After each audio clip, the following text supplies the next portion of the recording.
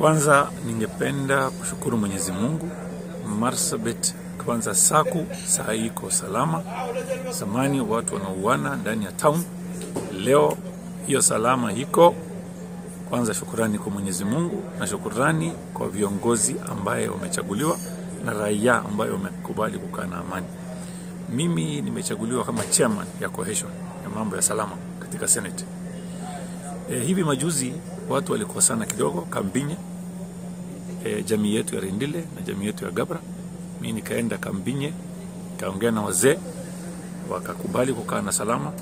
Nikaenda sehemu ya Gabra pia e, nikaongea na hawa Segel, maana naitwa Segel, nikasema wakae salama, wamefurahi, hata wamefurahi sana. Saa hii wanakaa na salama.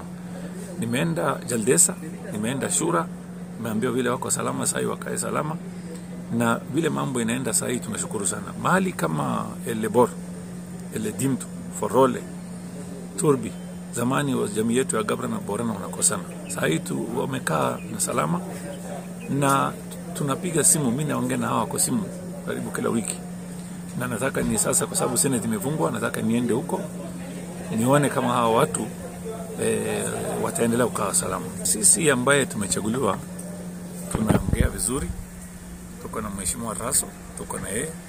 Mheshimiwa Naomi, tuko na yeye. Mheshimiwa ya Moyale, profesa Guyo, tuko naye. Mheshimiwa Wario Wanoto, tuko naye.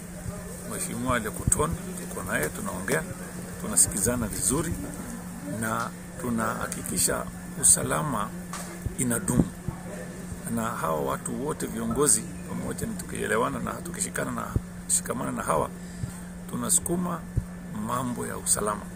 Sisi hatutaki kamwe watu yetu waende wakiuana. Tunataka wakae kwa salama, wawe wakifanya mambo yao ya, ya ya kawaida.